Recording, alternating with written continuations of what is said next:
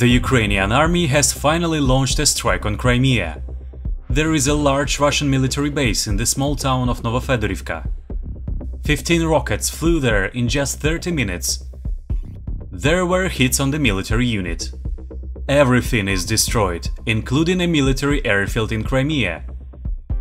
Judging by the smoke rising there, it is obvious that many planes and helicopters have been destroyed there. The Ukrainian military also carried out a number of strikes on ammunition depots on the border with Crimea the Russians suffered very heavy casualties today. That's another proof that the Russian S-300 and S-400 air defense systems cannot intercept the latest American missiles. Tourists and locals are trying to leave the region, but large traffic jams have formed. Many people have already begun to leave the Crimean peninsula for mainland Russia.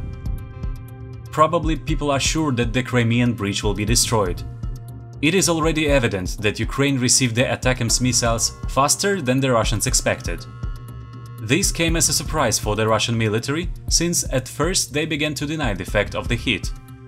But the videos of witnesses are the most apparent evidence. But after some time, a state of emergency was declared in Crimea, and the area around the destroyed military base was cornered off by the military, and the residents were evacuated. Ukraine promises to start clearing Crimea of Russia's military infrastructure in the coming days. So stay tuned for the news. The Crimean bridge and the headquarters of the Russian naval fleet in Sevastopol may be destroyed. And we are also watching the reaction of the Russians. Today, former US State Department Special Representative Kurt Volker said that Russia has already used about half of its military and weapons, and due to the lack of microchips and other technologies, they cannot produce new missiles and equipment. They are now fighting at the maximum of their capabilities.